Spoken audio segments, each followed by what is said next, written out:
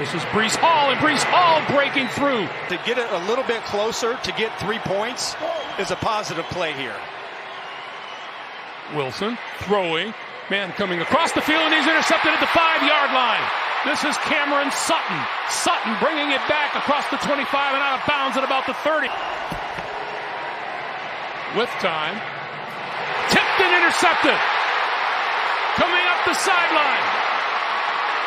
Fitzpatrick.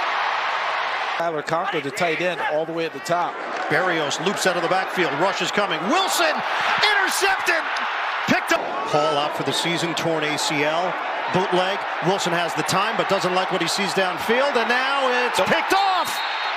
Intercepted along. Third down and seven for New York. Rush coming. Wilson gets out of the pocket.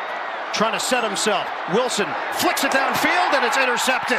Picked off once again. McCourty down the sideline and McCourty is forced out of bounds.